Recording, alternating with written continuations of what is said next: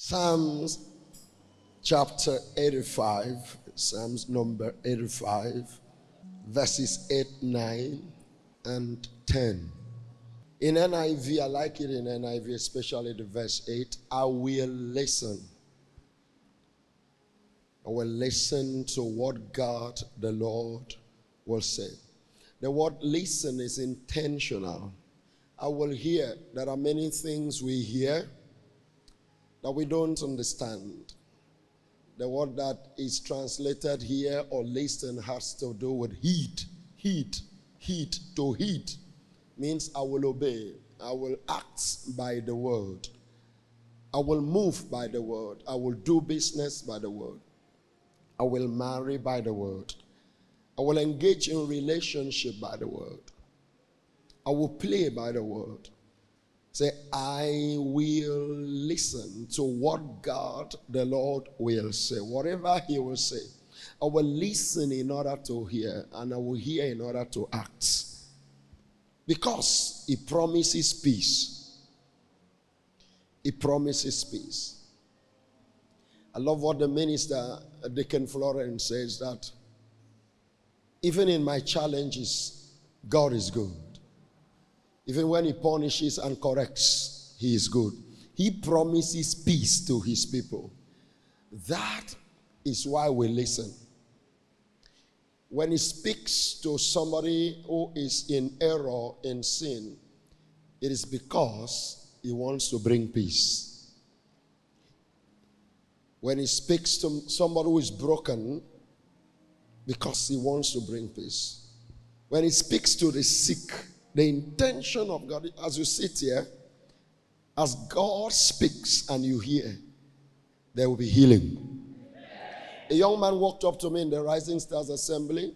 I don't know if he stayed around. I just told him he will testify.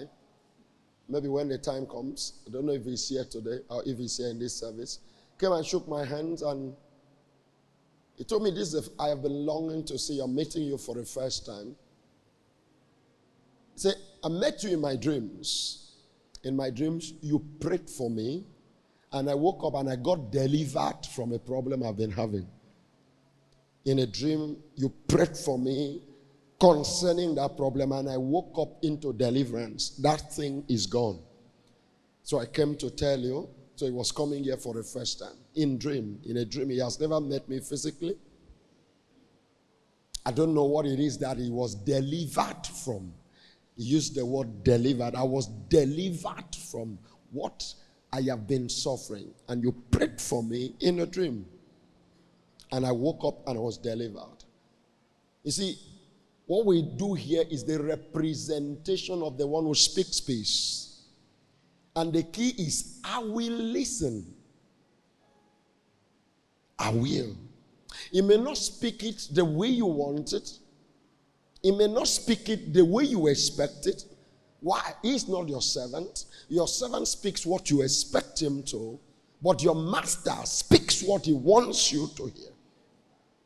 But the servant and the master, they say something, they speak. The servant speaks what you expect, and if you don't, if if you don't hear what you expect, you shut it down and no, that's what I that's not what I expect. But your master speaks from above, not from below. And the only response is, I will listen. I will hear. I will heed. I will act upon it. The ancients achieved God's purpose in life by the disposition of I will I will listen. Not because it's favorable to me, not because it validates me in my condition, but I will listen. Why? At the end of his speaking, the intention of God is to bring peace. The word peace in Hebrew is shalom. The word peace that is used in rendering shalom in English does no justice, no justification to the word shalom. Shalom is a basket of words. Peace is absence of strife. When we hear the word peace, it's all about that there is no trouble, no war. So the nation is at peace. At peace, maybe people are hungry, too tired, and too hungry to fight. So everywhere is quiet and at peace. But the Hebrew word shalom it's not just absence of strife, it's the presence of many things.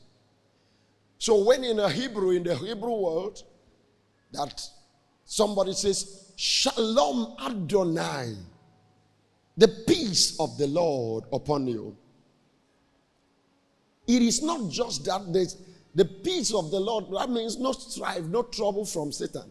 It means the health of the Lord the strength of the Lord.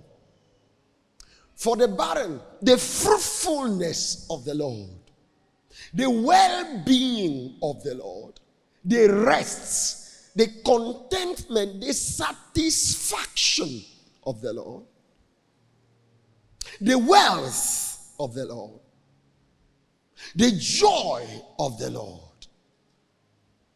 the faithfulness of the Lord, the strength. So the peace of God speaks to everyone in the corner and the side and the location of his needs.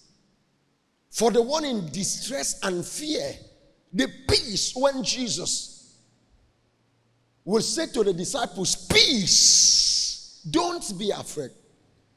Peace means for the insecure, be secured. Security.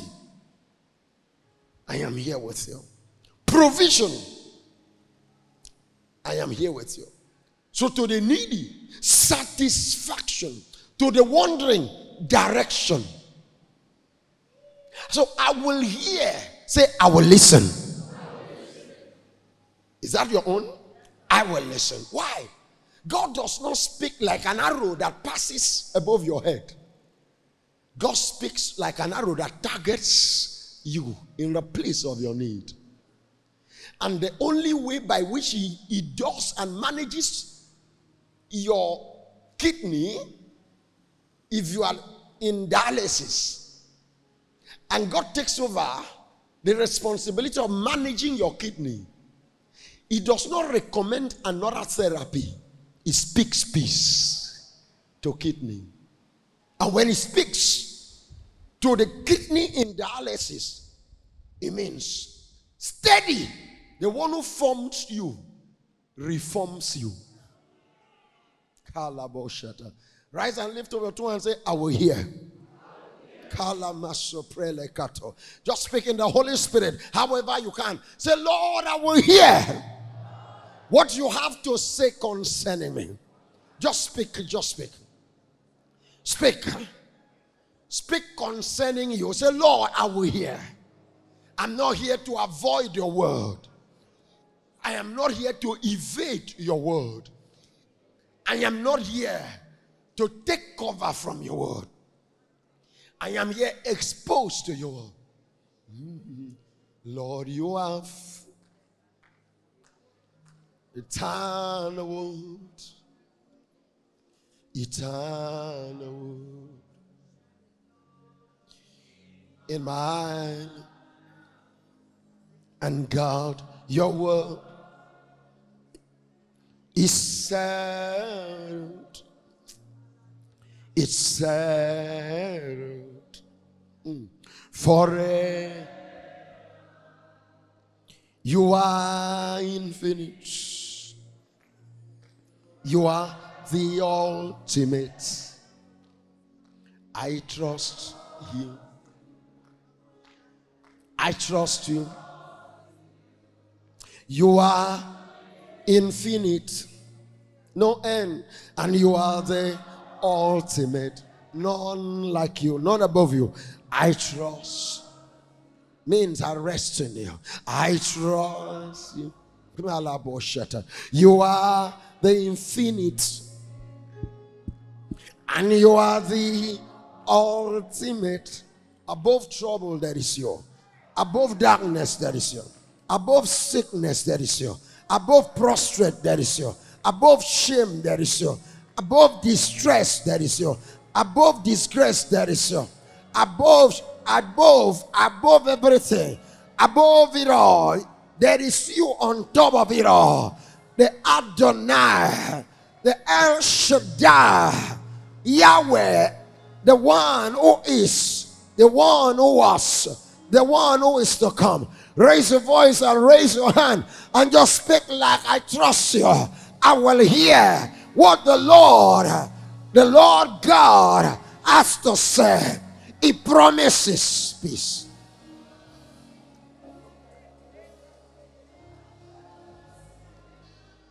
Oh, oh,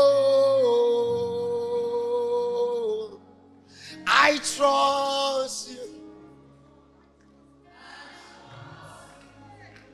No, hey. I trust you. No, hey.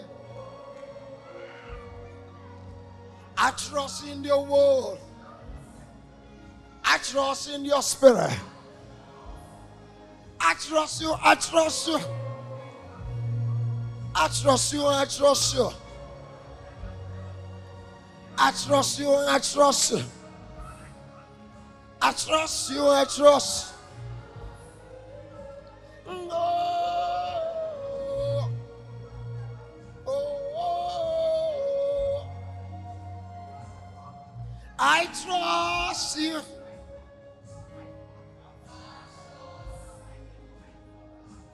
You are infinite. You are the ultimate. I trust you.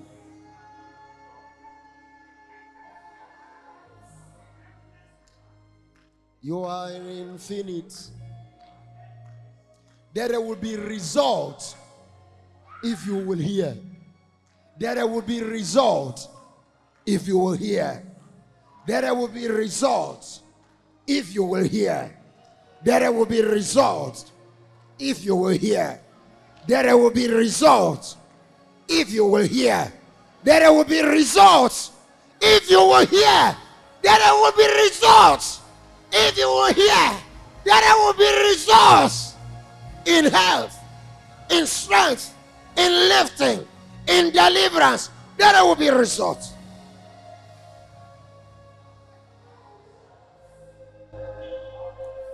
You are infinite. You are the ultimate. I trust you. I trust you. You are infinite. You are the ultimate.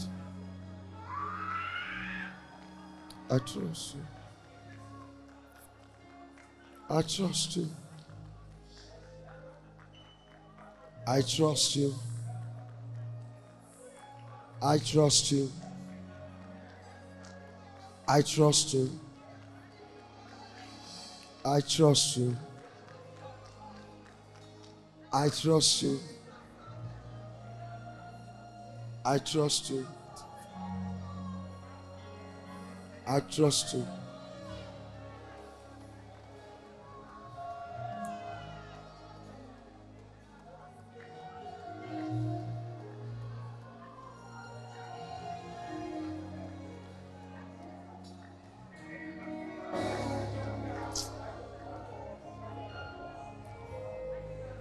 In the name of Jesus Christ.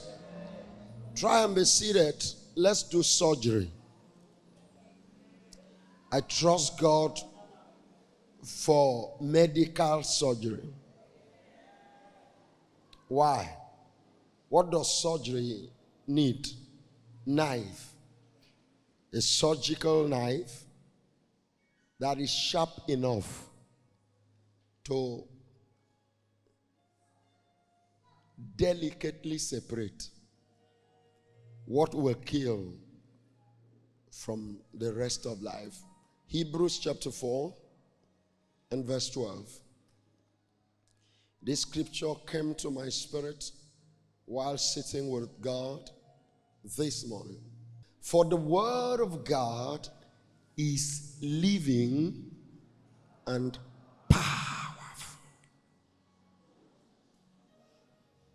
This is the testimony of the eternally written word. No matter what the world is doing, the world would not rewrite the Bible. Pope Francis will never rewrite the Bible. I'm happy to hear that Catholic bishops in Nigeria have reason to say that Pope Francis is not speaking on their behalf.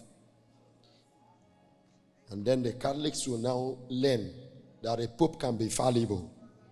I don't want to talk about that. For the word of God is living and what? Powerful. There is no authority that can deny that. I talked about surgery. I don't know who my God has in mind. My spirit tells me surgery will take place. That's what my spirit tells me. That's the intention. The only key is that I will hear. I will hear here is active, intentional. I will hear in order to act, to heed, to obey. And what are you going to hear today? The word is what? Is living. The word living means capable of causing things to live. A living person is one capable of causing life and capable of interacting with life, playing out life. He said, The Word of God is living and powerful and sharper than any two edged sword piercing even to the division of soul and spirit. God trusts His word. I don't trust any other thing when I stand here. I trust His word. When I stand here, I wear another person.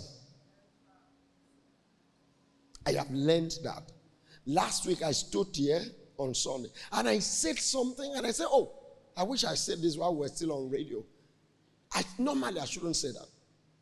I know there are women who have certain afflictions and they can be pregnant for two years before they give birth. I have seen a child that was that is called, as at the time I knew I was 11 years, but actually her age is 12 years. The other one year was spent in the womb. And eventually, through the hand of God, she went. But there are so many people I also know who carry chemicals. Chemicals that project falsely pregnancy. And some of these women are actively working in deception to deceive their husbands. Some by the deception of medical personnel that want to have a name. They say, oh, in that, that they have fertility grace. Once you go there, in two, three months, you will take in. And they will take you in by chemical and manipulate all sort of things. And so children disappear from young from mothers to be given to women that have been promised pregnancy that did not happen. So I said that, and after that, I and the first lady we analyze it, and we say, "Oh, so who was in church that such a word will come? Because it will be, it will sound insensitive." Because I also hear those who say, "I've been pregnant for long, and I came to Grace Family, and the man of God didn't even touch me; he just spoke, and I went had labor, and I had my child." I've heard such testimony.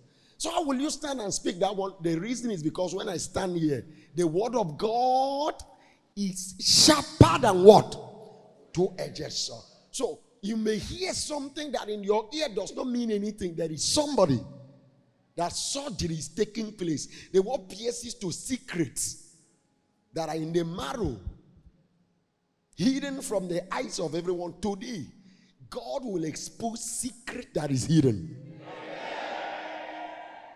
So when I say surgery, there is a medical surgery.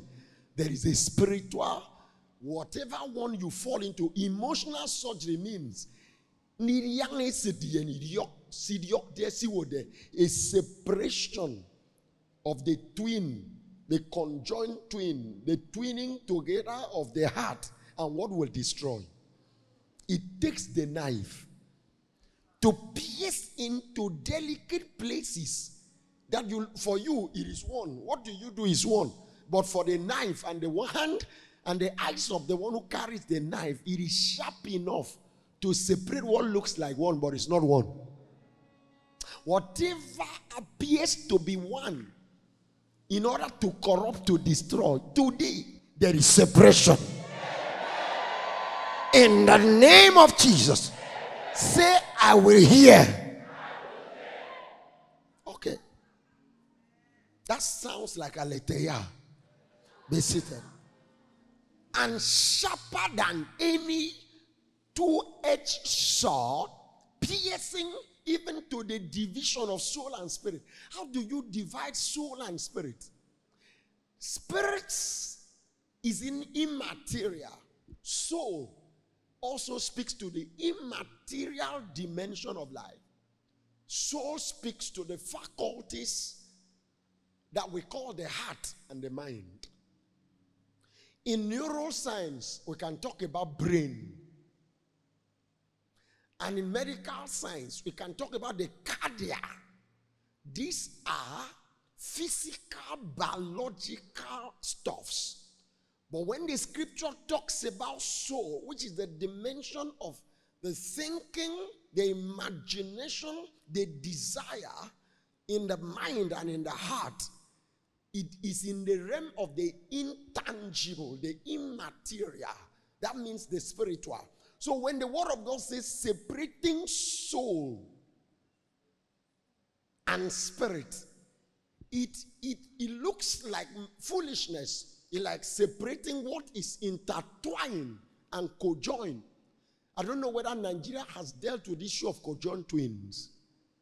Twins that are born together with one head. Separate lives, but they share it. God has spared us. Amen. Oh, praise God. But the word of God says, I will separate. Say, I will hear. Praise God. You will hear. So there will be separation. Will you hear it? To the division of soul and spirit, the word is sharper than anything to the degree of separating spirit and the spiritual and joints and marrow. This is this is botany and anatomy.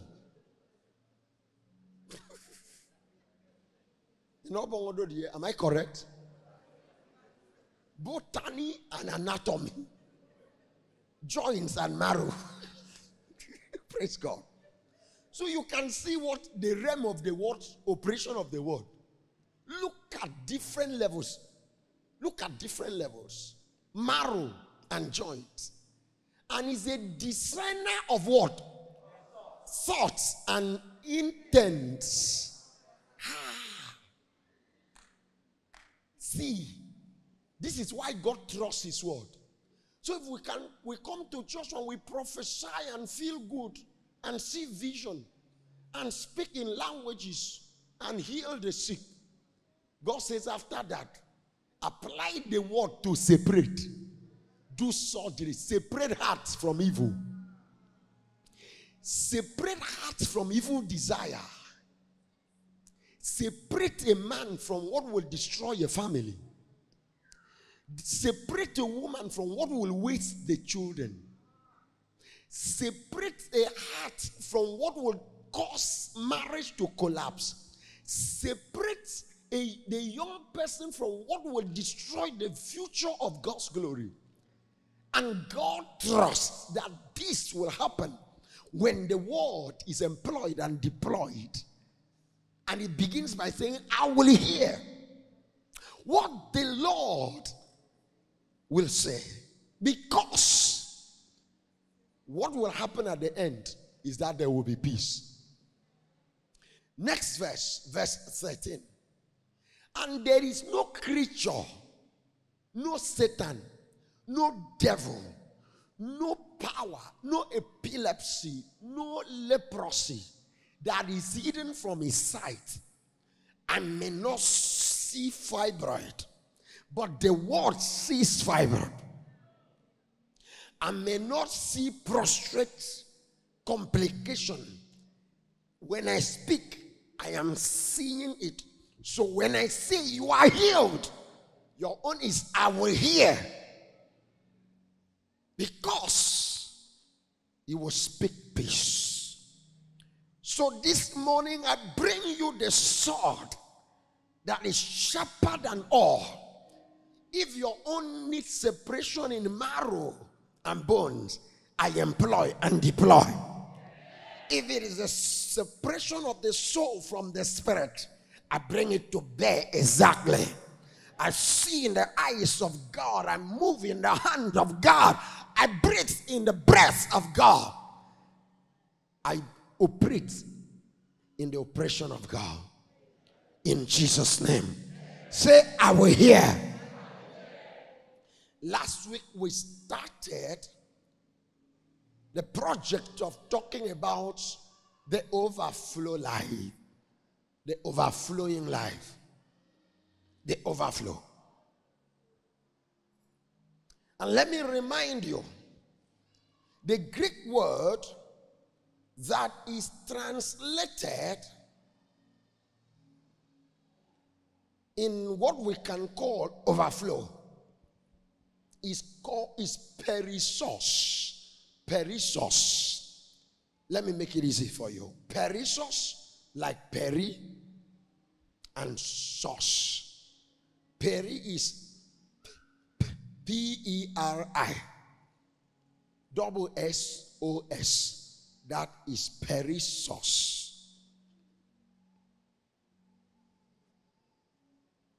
Let's go back to the text. John chapter 10, verses, verse 7 to 10. Then Jesus said to them again, Most assuredly I said to you, I am the door of the sheep. All whoever came before me are thieves and robbers, but the sheep did not hear them. Verse 9. I am the door, second time. If anyone enters by me, he will be saved and will go in and out and find pasture. Mpado amana mama. Sincerely. The first lady is the gatekeeper of this call in this expression. So she had this encounter in the realm of the spirit about communion. And these few days brought me, she had shared this with me, but she shared again few days ago. And my eyes were open. And for the first time I started using it, I realized, oh, this is a message to me. And I want to share it with you because it makes sense. And I had to say in effect, Mparo and Amama. That death has done it all. What struck this chord is the fact of Jesus saying, Whoever enters through me will do what?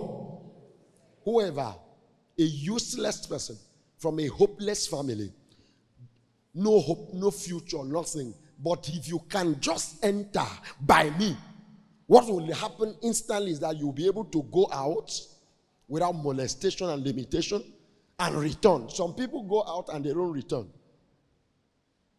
Some people return, they cannot go out. No access, no exit, no, just one way. He said, You will have not one way, you will have two ways with what you don't like, what is not good for you, you can come out of it. What is good for you, you can enter into it and you will find pastor in each case. Find pastor means you will have result. If it is what should not happen, you come out of it and have result, pastor. If it is what is good for you, you enter and you find pasture. And the word broke out in my spirit. That revelation of Inyana, the first lady, and the doorkeeper broke out. So I can share. Can I, can I share? So she had this encounter, and by the grace of God, this encounter has come. That she was sitting on the table of communion with different individuals, and Jesus Christ was sitting there with the bread, his body in his hand.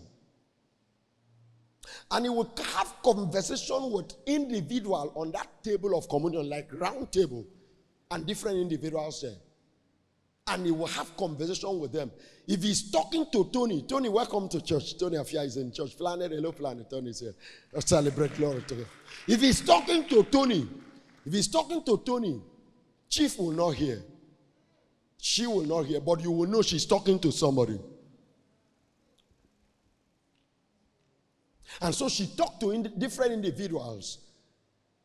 And then when it was her turn, that the Lord lifted the body and asked her, What does this mean for you? Come again. Okay, what does my death mean to you?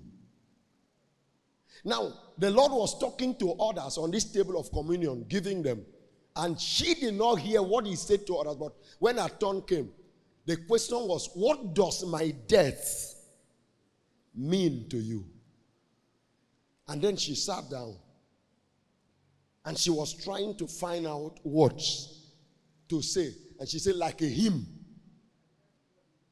Like,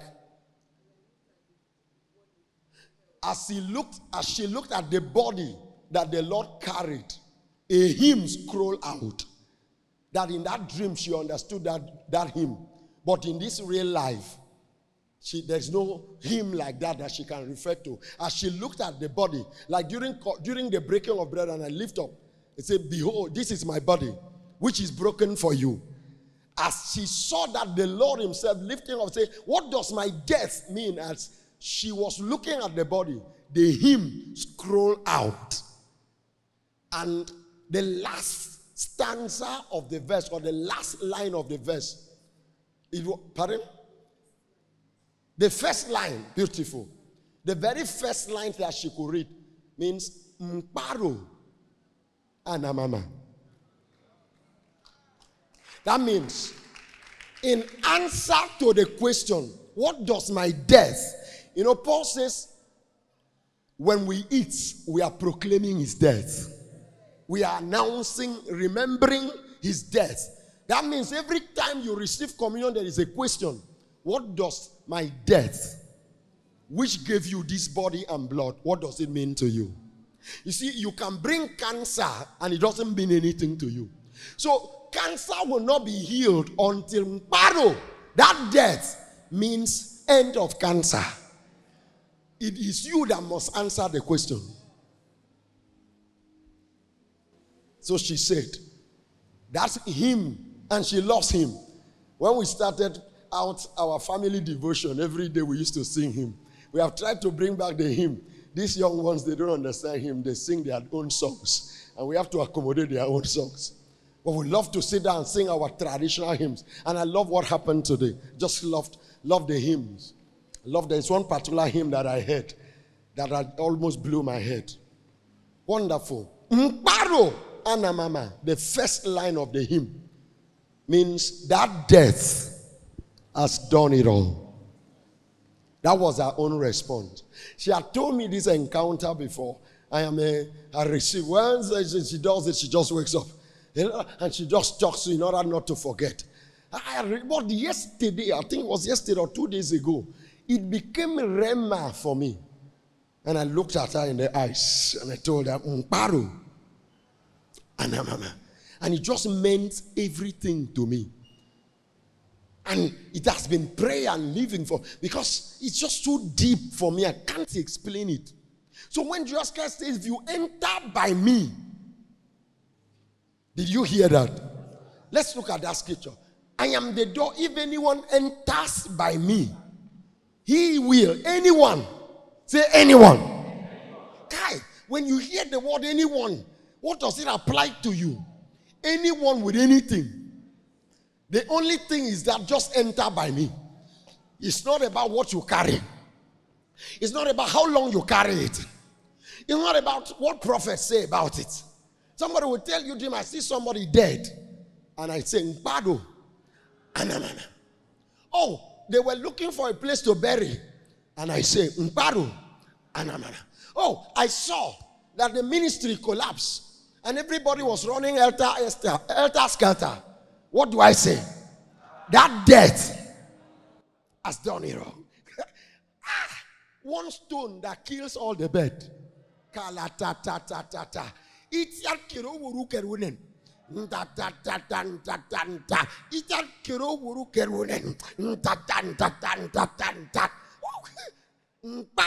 It's like I am mad. Like undoable. Like it has entered my head. Like my head pass. Yo. Paro. Anamama. Because that death has done it all. Whoever can enter by me, just enter by me and see. From that moment, you will be able to do what? Go in. Go into joy when they say there is no joy available to you. Go into peace when everything says peace has ended. Go into rest when they say rest finished before you were born. Go into health when they say there is no cure that can bring you health. Go into, and if you have gone into something and you didn't know, or you were born into something you didn't know, what does it say again? Out. You can go out. He said, No, nobody enters this thing and, and, and goes out again. Mparo. Out. That death has settled. Rise up and speak. Rise up and speak. What does this death mean to you? Personal. Let's do surgery. Let's apply this revelation in the understanding of this word. What does the death of Jesus, when he died for you personally, what does that death mean to you? Mparo. Ah, that death has set it all. Settle it. That death settles cancer and hemorrhage. That death has settled it. So that death has settled it. That death. I saw my minister yesterday on Friday as we were marching in for wedding. And I saw her. See that come out. I saw her. I saw how she also moved. And they were the ones who walked in the front. She also walked like I said, Oh, look at her. Because few weeks ago I saw this woman with walking stick coming to church. I don't know if you noticed it. This kind of walking stick that has multiple, like Iborina. And she would dare not stand up. And during the Goshen 24, I say, Captain Biakmin, and you think I'll come and hold you your leg? He said, rise up. So when I say people stand up, I have intention. What does it mean to you? So after that, I just forgot. He said, We cannot be talking about the God who saves by power and might. And a minister who normally walks up there. Now go up and come down. Let me see. Now go up and come down. Let me see. Glory. Mparo. Anna, uh, now you come back. Come, come. Now you come. Do you need my help? Mparo. Anna, uh, go back to yourself. That one death has settled it all. One of those days, I saw this woman. One normal, ordinary woman who came into Grace family. And when she goes out up there to pray, you know a warrior is on the on, on is on duty. Now seeing her struggling with plenty headed kind of walking stick.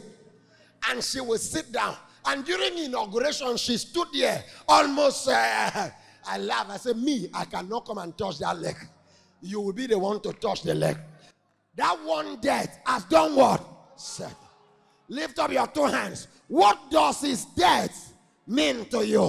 What are you supposed to come out of right now? What are you supposed to go into right now? That one death has settled. If you will hear, I will hear what the Lord, the Lord God will say. He will speak peace. He will speak healing. He will speak strength. He will speak power. He will speak healing to prostrate. He will raise the impotent back to strength. He will make new wombs spring out for children. A woman came yesterday and said, It's like magic. I can't believe I am pregnant. And she had come. I said, Oh, how many children do you have? I have just one outside. I said, You go and have other children. And she was like, ah, Is in. So when she didn't see her period, she thought it's menopause. I said, How old are you? I said, I'm 45. I said, 45, you don't start menopause. He said, It's too magical for me. I just, is this how they, they get pregnant? The distance between this one and this one is in teenage, like teens, uh, like kind of thing. No, mbaro. That death, oh, give a shout. That death, shout that death. Say, I enter by that death. Say, I enter by that death. Say, I come out from by that death. Say, I break through by that death. Say, I recover by that death. Lay hold. Speak with all of your heart. I am forgiven by that death. I am restored by that death. My hormonal balance returns by that death. My strength is back by that death. Favor returns by that death. Glory breaks out. Be seated. Sincerely, I would have loved to turn this into a testimony service because it just looks like there's somebody who just will want our own testimony to be recorded. I don't know. I don't know. Sincerely, I just feel like there's somebody who just wish will he, will he allow me to share this one? I don't know. In case you are the one, you can interrupt me while I want to. Sincerely, that's what I had. Just one person. Don't don't hold it back. You know, we don't always have like time. Okay, so you don't waste my time. Ah, it's here. I am the door. If anyone enters by me, he will be saved. He will be saved. And will go in and out and find pasture. Oh, glory. The thief does not come except to steal and to kill and to destroy. But see what I have come to do. See my agenda. See why I want to be your savior. See why I want to rule in your life. See why I want to be your way, your truth, and your life. See why I want to be your meaning system, your foundation, your substance. See why I want to be your culture, your custom, your tradition. See why I want to be your father, your mother, and your brother. See why I want to be your Lord, your Savior, and your deliverer. It is just this one thing so that you are not stolen, you are not killed, and you are not destroyed. That's not all. If that were to be all, it would just be peace as peace in English absence of being stolen, absence of being killed, absence uh, of being destroyed. But I bring peace, which is the presence of health in sickness, the presence uh, of strength in weakness, the presence of sight to the blind, the presence of light in darkness, the presence of. So, peace is not just about the lack of something. Peace in Hebrew, as shalom, is the presence of something. The presence of something where things are not expected normally. In this economy, there are certain things that are not expected. But it says, I will hear the voice uh, of the Lord God, for he will speak shalom. The presence of things uh, where it is not expected, uh, the presence of stops uh, where they are not expected, where they will cause surprises and eyebrows to be raised. Why? I have come that they may have life and that they may have it perissos. Perissos. The Greek word perissos, which I told you, is what is translated as more abundantly. Last week I tried to give you few few lines of what perissos in Greek means. What is translated more abundantly in Greek means excessive. Come so that you may have excessive joy, excessive light, excessive. Not just for you and your children, for everyone in your world. And for us, as far as your eyes can see.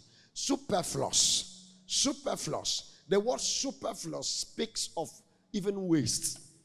Sometimes it just feels like it's too much, too abundant that it is now being wasted. It cannot be contained, uncontainable, unlimited. It's not something that can be mitigated. You cannot help it flows. It's like the pipe. Not. There are pipes and there are pipes. There are pipes that are broken. An entire community is inundated. An entire community is flooded pipe, the pipe of God's blessing, is not just a pipe that contains what you need. It's a pipe that gets broken in your domouth. I love it the way pigeon will say your. In at the mouth of your house. That's a, I'm talking about the pipe of God's favor being broken at your domouth. Your the the the, the door. Is it the door? The mouth of your habitation so that there is superfluous. It is perissos, extraordinary, beyond measure. You came with GP tank, it is full. You came with the other tank, full. You came with an ocean, full. You came with Antarctica, full. You came with the other one, Indian, full. The South China Sea, full the north full, the south full, extraordinary, beyond measure, exceeding rank and needs. God does not meet your need when it comes. So the issue of need is not God's plan. God's plan is above needs. Because if it is just needs, it will be contained within the perimeter and the sphere of your needs. But it comes so that not just your needs, but needs of your world, of your universe, of your planet, of your systems and galaxies and Milky Ways will be met. It means above what is necessary. Say, say unnecessary favor. You see, even the way you say it, you are afraid. You don't want to be implicated. You don't want to say you say you believe, but it does not manifest. I didn't say it is your own. I just say you should say it. Say unnecessary favor. Absolutely. Absolutely. Did God actually have to take me through Catholic priesthood and now tell me it's time to move, sir? It's so unnecessary. Everybody, my brothers, my friends, my family said, but you say God says you should become a Catholic priest. That was necessary. Leave, go and marry and have children. That's all necessary.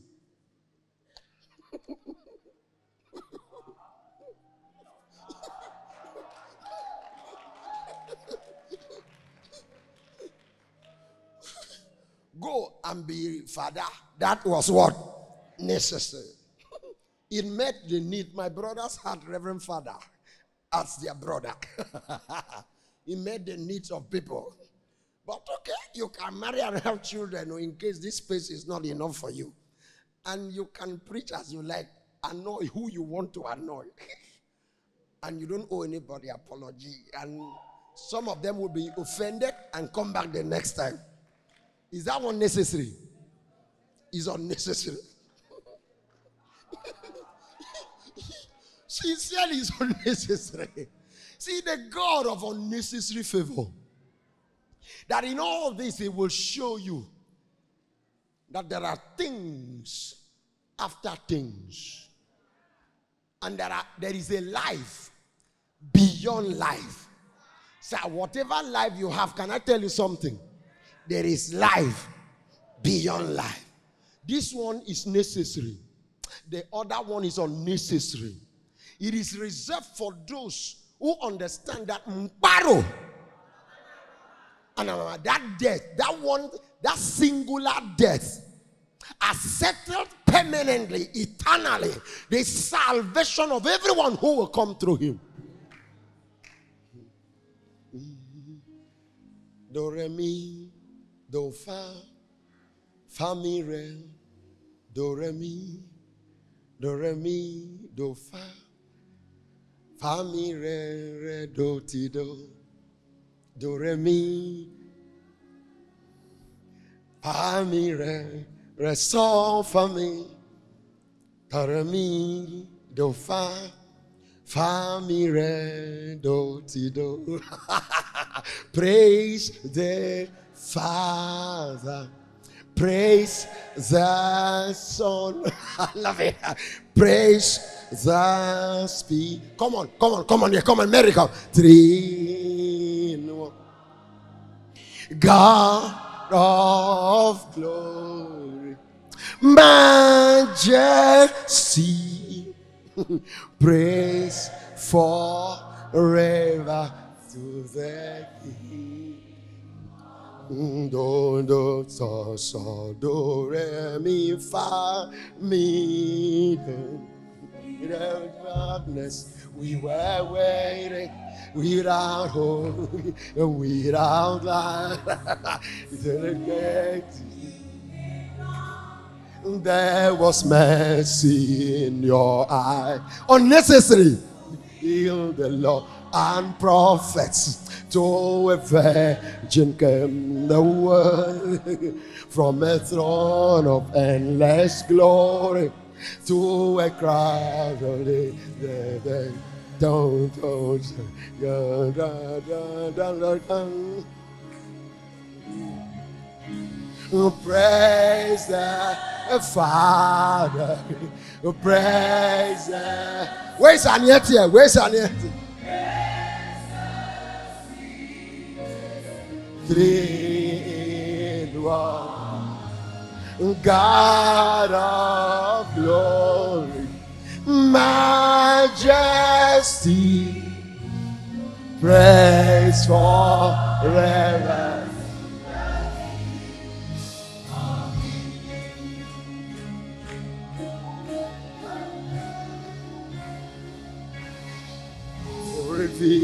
the kingdom coming and to reconcile the lost, to redeem the whole creation.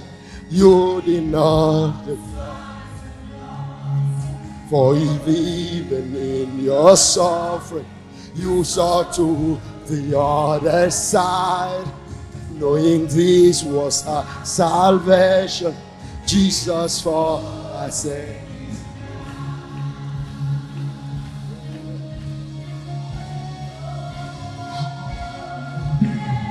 Praise the Father, praise the Son, praise the Spirit. Sing, Lord, God of glory, majesty, praise praise. Praise the Father. Praise the Son. Praise the Spirit. Sing one. God of glory. Majesty.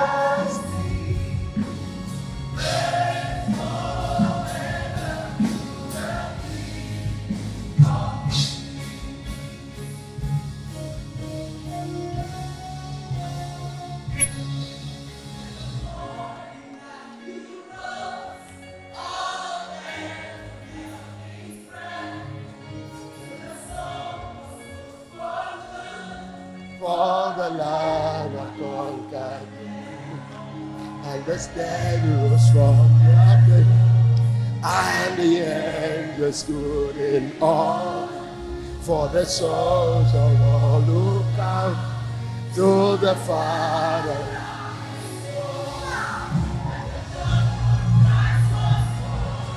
And the Spirit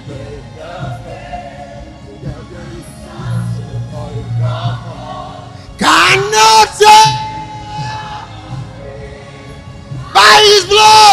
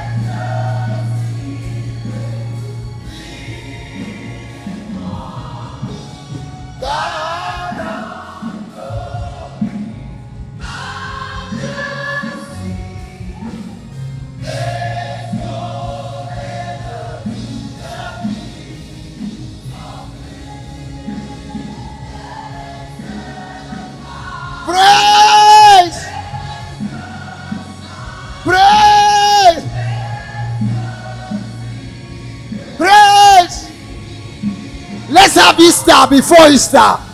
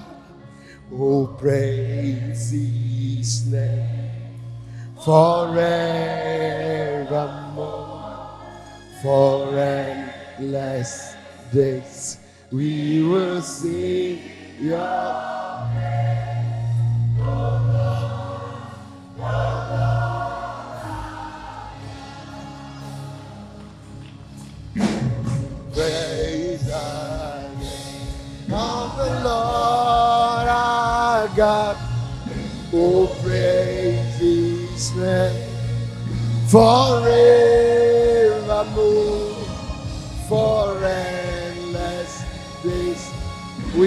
Sing. Oh Lord, oh Lord. Just go ahead and praise. Raise your voice and praise. Raise your voice and praise. Raise your name. Raise his name. Raise your voice.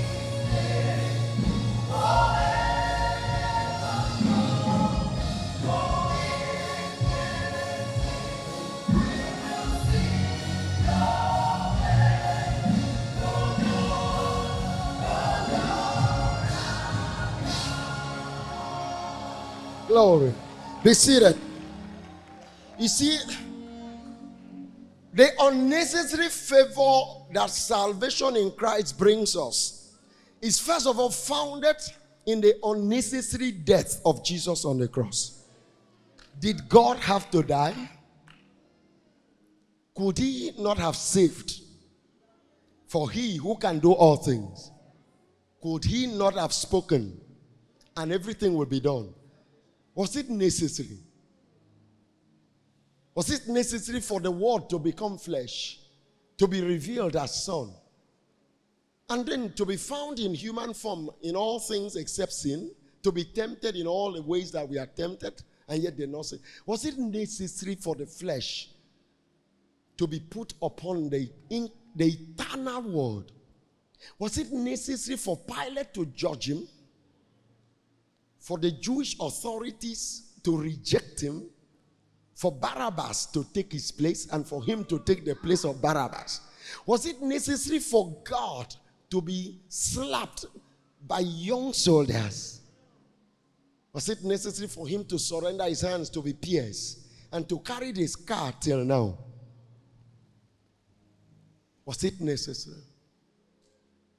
The salvation he brought is beyond necessary. It's beyond need. So don't just come and hope he will just just bandage your wound and just leave you, uh, for, spare you for another time. I told you that size is what makes the difference. How far can you open wide your mouth? That's the scripture we saw last week that we try to see again. 81 psalm 81 verse 10 i am the lord your god. I am not your forefather. I am not your grandfather.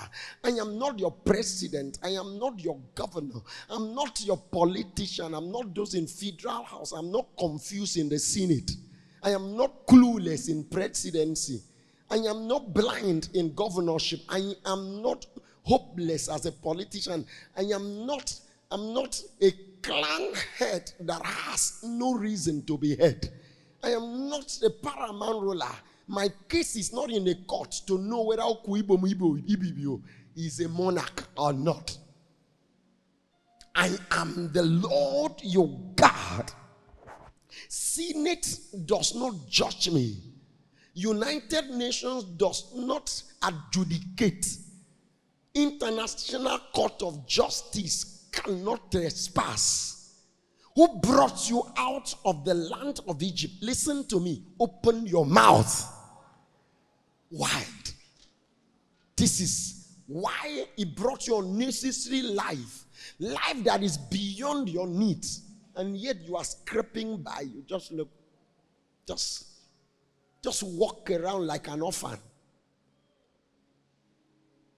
And to be a Christian for you is stupid and useless to follow him because you are content being in the place of insecurity and hopelessness and dependent on, on the uncertain foundation of the elements and humanity.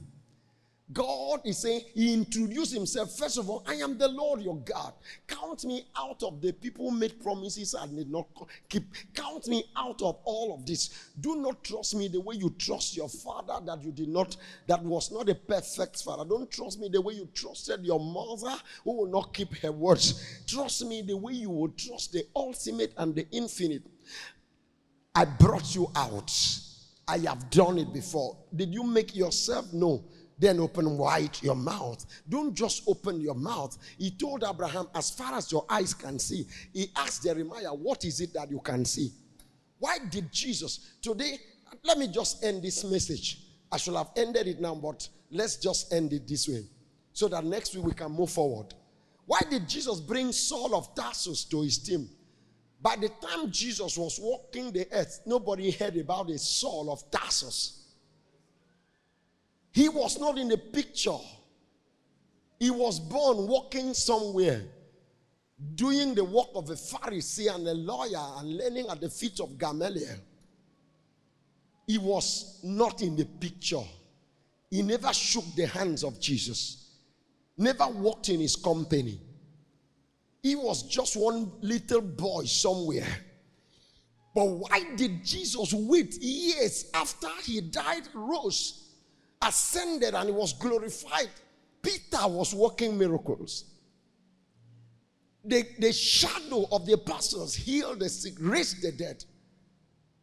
Anger chiefs from the apostles were working miracles. Deacons ran into neighborhoods that were not Jewish and nations turned to Christ. Why was this not enough? Why did God encounter Saul in the Acts of Apostles? Why? God had to trace me. God told me, I look for a heart and a mind that is large to large enough to look for the unnecessary. Those who can push boundary. Those who will not just look for food for their families. Those who just don't want to make money for their pocket. Those who just don't want to have political power to say mando, mambo. What we have been witnessing is a governor will come. He will try to make another governor look like that one does not exist. And then another comes and he tries to be richer, wealthier, bigger, greater than governor. So at the end of it is one man versus another hopeless man. All of them will die. But God is saying, I want a man. I want a man. I want a man whose heart is so large, whose vision is so, so large and unnecessarily big that it, con, it can contain the excess. Is there any wonder then that Paul is the only one who talked to us about grace? Because grace is the unnecessary action of God. Was it necessary for him to die, pay the price? This is why he brought Paul. Paul had extraordinary heart and large ego of the spirit. He was a man. Paul never saw Jesus in the flesh, but he made everybody believe that he too was an apostle. If you guys had 12 apostles, you better at me, I'm the 13th apostle. And they say one of you died, killed himself at me should have been there. And people went and preached to the Galatians. Don't mind this Paul, he was not apostle. He said, What signs of apostle did they have that I don't have? Tell those apostles to come and show me what is it about them that is more apostolic than me. And nobody could show up. Even Peter submitted that Paul writes in some of his letters things that are too big for people to understand. He said, Be careful how you listen to Paul. Oh, that man is too big. Oh, this is the head of the apostle. That's why Jesus brought him. Is it little wonder that Jesus has not brought you into something?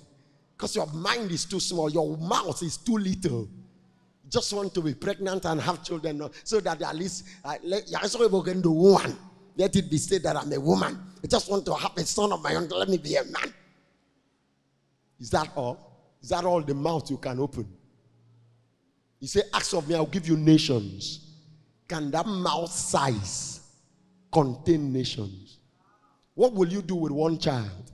As soon as Joseph was born, Jacob, after he had 10 sons, but Joseph was born, Jacob went and told Laban, Let me go. Let me go back to my father's house. A son is born. Do you know the name of your son? He knew one day this son would rule Egypt.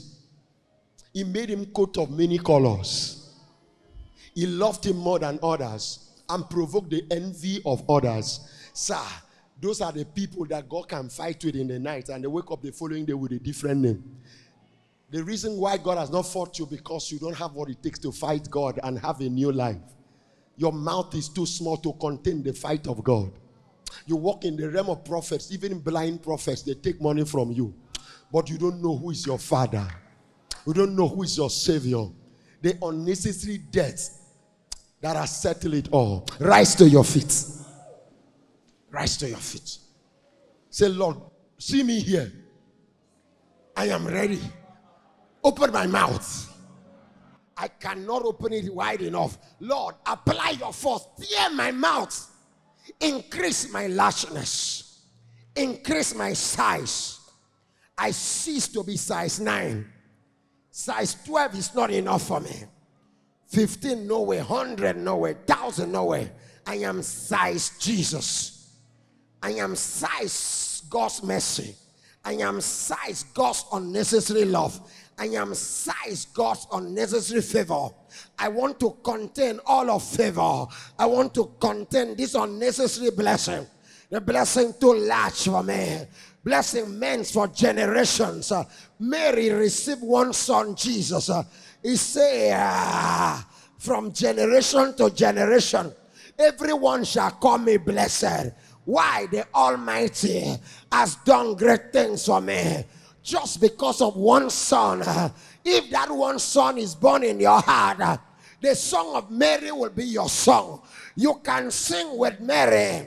If Jesus is born truly in your heart and born truly in your soul and in your flesh, you are expected to sing the song of Mary.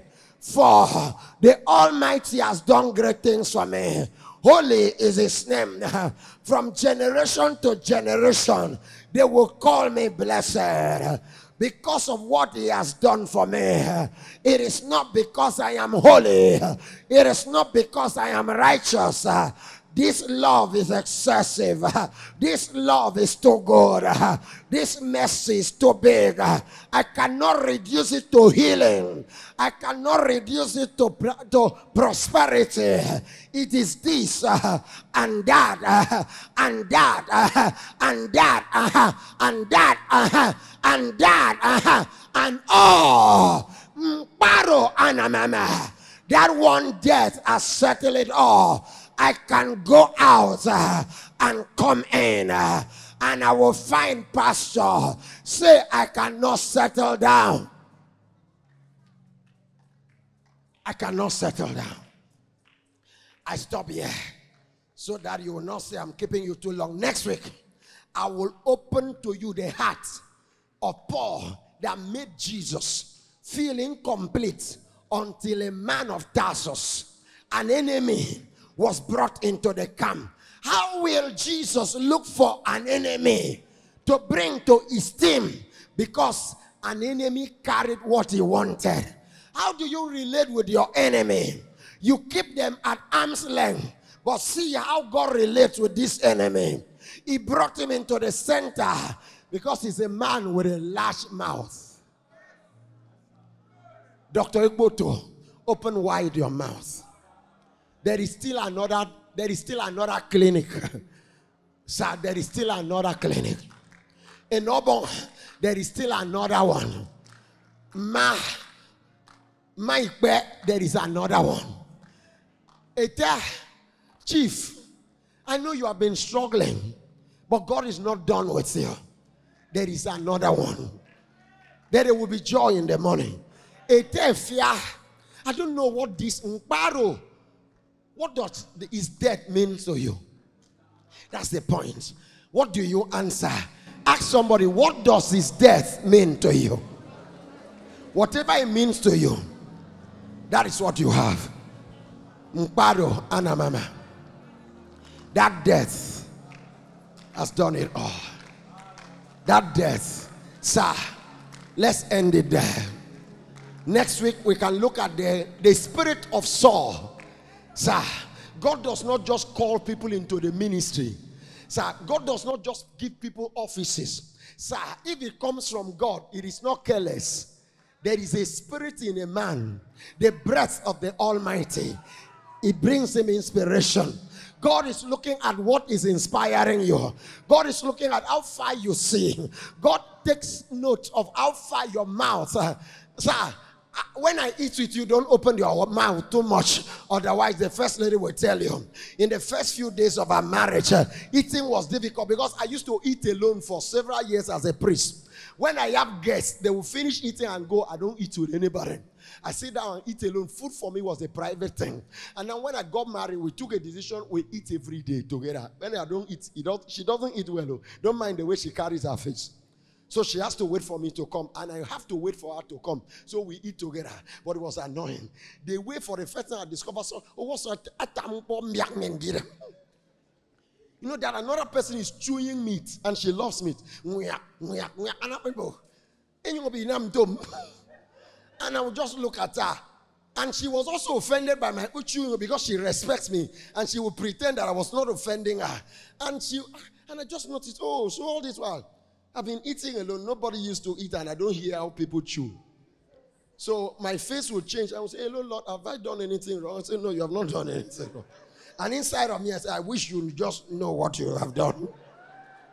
Sir, so when I'm just warning you, in case you come and eat with me, you dare not just chew anyhow. But when God tells you, open wide your mouth. When you eat with God, hello, Lord. Go ahead. When you eat with God, don't worry about how I treat you. Just if I, if you eat and I notice, open wide your mouth. Yeah, I'm young man. Am I talking to somebody? If you open your mouth and I'm offended, then what are you going to do? Open wide your mouth. God is looking for who can open wide.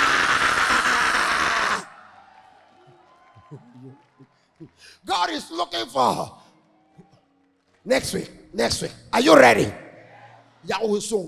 Eh? Next week we'll see the spirit that brought an enemy to be a champion of God. Sir, adjust your size. Adjust. He said, cut your coat according to your. And some people will say, cut your coat according to your material. They are both nonsense. Cut your coat according to God's size. Go and tell a tailor, I said that. Say, give me extra lash. And you say, but you are like this. Say, who told you? That's what you see. I am wide. I am open. I am a nation. I'm a kingdom. I am nations. I am territory. I am God's king. Open wide.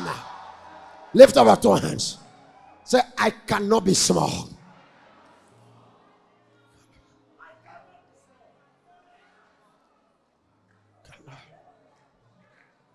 Adjust. Adjust. Adjust. Adjust. Adjust. Wherever you are, adjust. I don't just want to be lifted. I want to be a lifting. I don't just want to be blessed. I want to be a blessing. I just don't, I don't want to see. I want to be sight to those in darkness. I just don't want to be lifted. I want to be the lifting of my generation. I just don't want to be honored. I want to be the honor of my dispensation. Lord, don't just bless me. Lord, make me a blessing. He told Abraham, I will bless you. But that's not all. I will make you a blessing. Please talk. This is where I rest today. I love you so much that I don't want to keep you. But I want to keep you enough to, to talk. Talk. Talk. Did I tell you there will be surgery? Kalabo shata. Lama sikato brekata. Lema katala bosekete lebrakata. Is there somebody here? And the Lord has convicted you in His word. And you want to report at the altar. Say, take this heart take this life, I will no longer stay in that sin, that small place.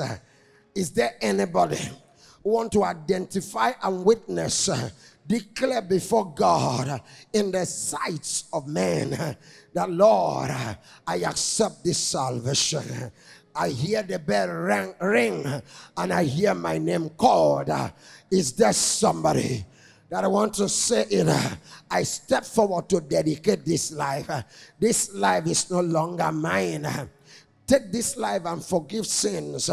Make me what you want me to be. I came here with nothing, but all that you have given me, you can just walk down the altar. Walk like nobody cares about you. Because the fact is that who cares about you? and God is looking. Is she ready to open wide her mouth uh, and vomit sin?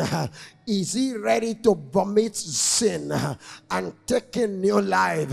Who is uh, and who is in this place? Who will dare God? Who can dare the God Almighty? Who will dare step into his circle and say, God, here am I. Send me into the last one. Should the Lord want somebody? Here am I. All eyes closed. Say, should the Lord want somebody?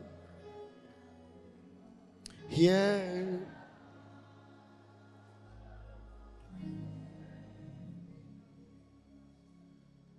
Sure, the Lord wants someone.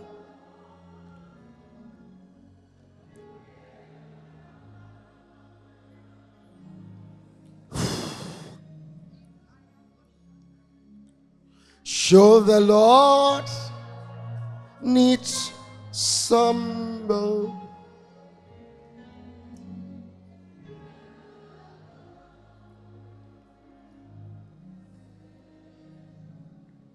Let's do dedication. Here am I. Raise your hand. Eyes closed. Send me. Here am I. Send. Should the Lord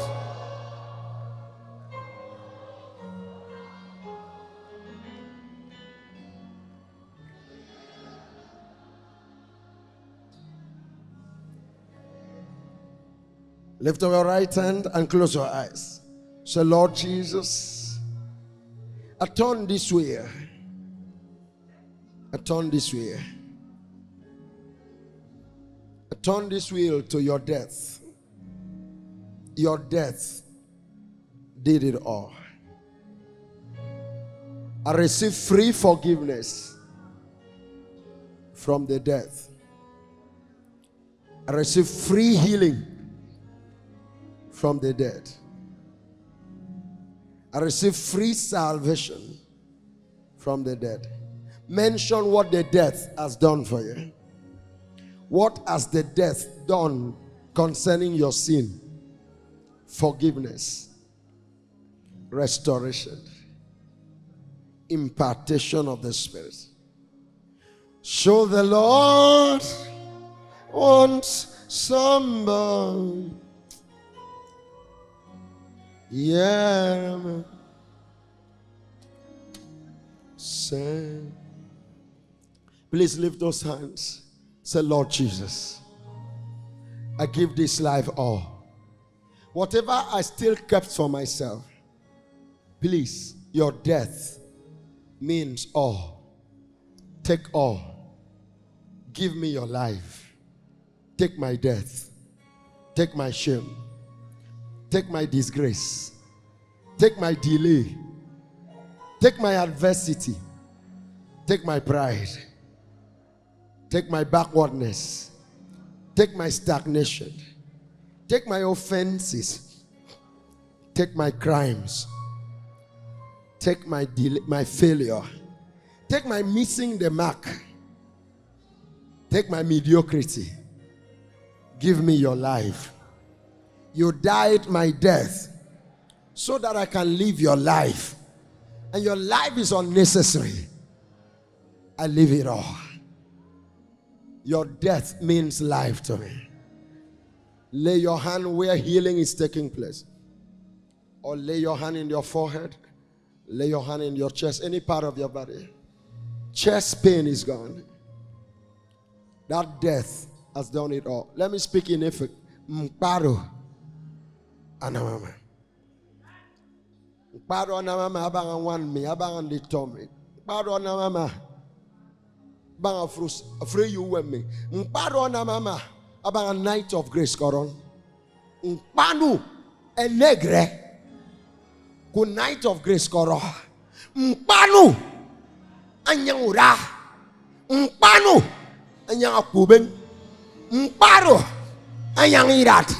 That death that death, that death, that death, that death. Raise your hand, receive that death for your unnecessary manifestation. Abundant, perissos, excessive life, excessive life.